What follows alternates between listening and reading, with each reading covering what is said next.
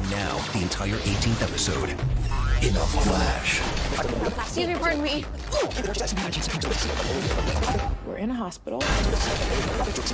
She lied to us. Godspeed hit you with his lightning. Are you kidding me? Oh my god.